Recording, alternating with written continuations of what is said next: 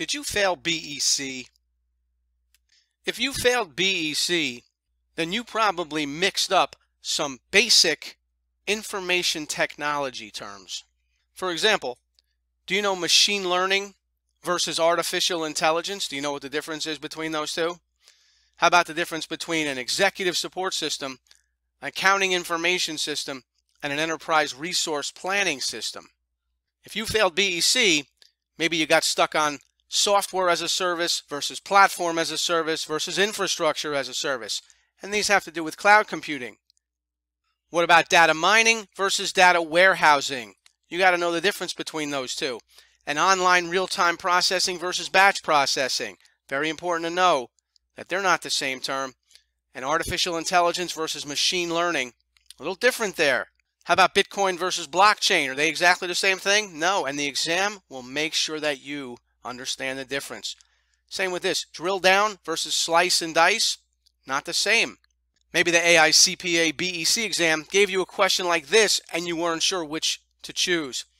Which of the following best describes the use of information systems facilities to focus on the collection, organization, integration, and long-term storage of entity-wide data?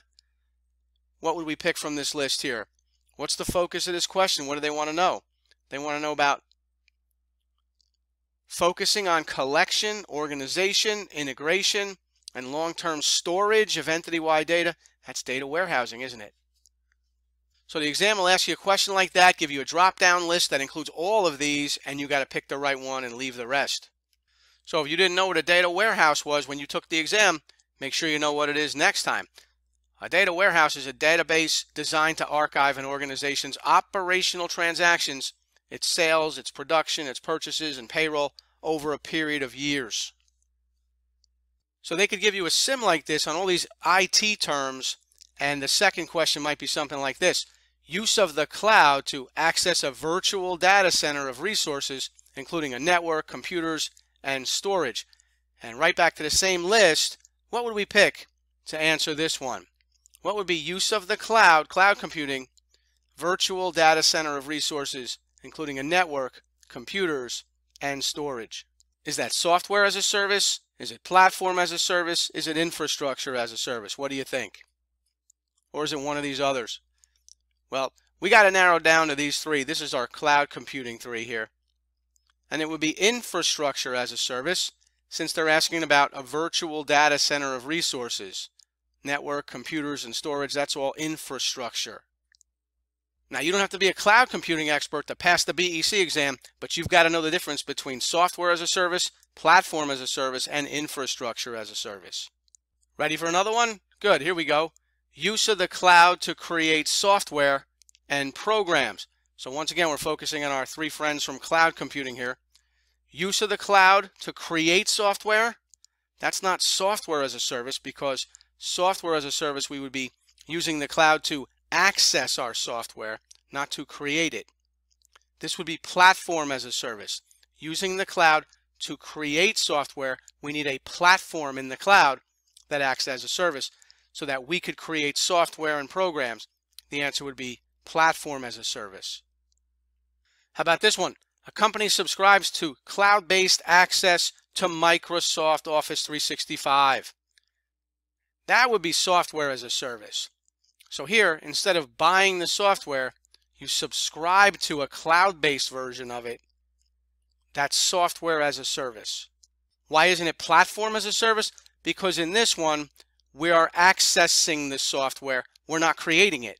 If we were creating the software on a cloud-based platform, then it would be platform as a service. Here, we're not creating the software. We're just accessing the software. Software as a service. All right, what about this one? An emerging technology where companies use customer support agents that have natural language processing ability and are able to interact with humans. Okay, so an emerging technology, maybe something like machine learning or artificial intelligence, right? Those are emerging technologies. What about blockchain and Bitcoin? Those are emerging technologies too. So which one of these would describe support agents that have natural language processing ability. They can interact with humans. And that, of course, would be what? artificial intelligent agents. So if you weren't ready to talk a little artificial intelligence when you took the BEC exam, you better be ready the next time because artificial intelligent agents, they began as customer support telephone agents. Companies used them when customers would call in, but they've evolved into more sophisticated artificial intelligent agents now like Siri and Alexa, and even now into a fleet of drones that could monitor and deliver inventory. Artificial intelligence relies on fast computing and big data. Let's try this one. An emerging technology that provides an independent, secure, non-modifiable audit trail of transactions that are collected into an open ledger database. So it's another emerging technology, non-modifiable audit trail of transactions, open ledger database. What are we talking about? Is that Bitcoin? Not exactly because Bitcoin is more of a payment system this describes blockchain. Blockchain provides an independent, secure, non-modifiable audit trail of transactions that are collected into an open ledger database. Blockchain was created along with Bitcoin. Blockchain was created as part of the invention of Bitcoins to provide a secure, decentralized tracking system for Bitcoins. But blockchain has evolved into many different uses that do not even involve Bitcoin. And one of its greatest advantages includes continuous monitoring of an accounting system because of its open ledger. The fact that it's an open ledger database, a non-modifiable audit trail, makes it very useful for continuous monitoring. And that has a good use for auditors now and in the future. So look for a question about blockchain or even Bitcoin on your next CPA BEC exam.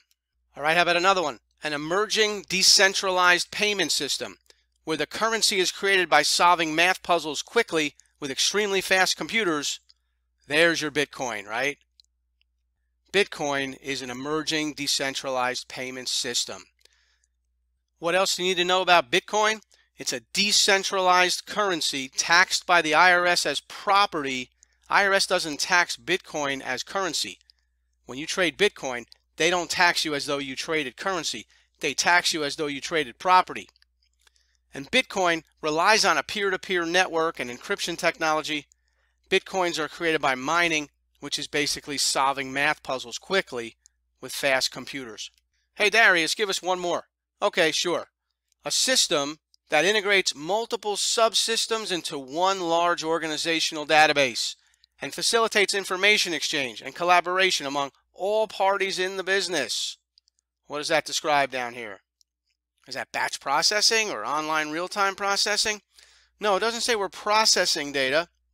It says a system that integrates multiple subsystems into one large organizational database. Facilitates information exchange and collaboration among all parties in the business. Why don't you leave me a comment on this YouTube video and let me know what you think the answer is. Or you can go to cpaexamtutoring.com hit the contact us button and you can talk to me there. I pulled this sim for you right out of my I-75 BEC course. And if you want to watch this entire sim for free, go to cpaexamtutoring.com and click the contact us button and then I'll get back to you personally and make sure that you can watch this entire sim for free. If you're stuck somewhere on your CPA exam journey, why don't you get on I-75 and take it to your next pass. Is passing the CPA exam harder than doing a backflip? Well, the answer is it's all about preparation. Hi, I'm Darius Clark, and here at I-75 CPA Review, I'm going to put you on the right road. So when you go to take FAR, Audit, BEC, and Reg, you're going to have so much confidence you're going to be like this guy doing a backflip. So go to CPAexamtutoring.com and take I-75 to your next pass. Because the only thing more painful than failing the CPA exam is failing a backflip. So for just 109 a month, become a monthly subscriber to I-75 CPA Review and get all four parts for the same subscription.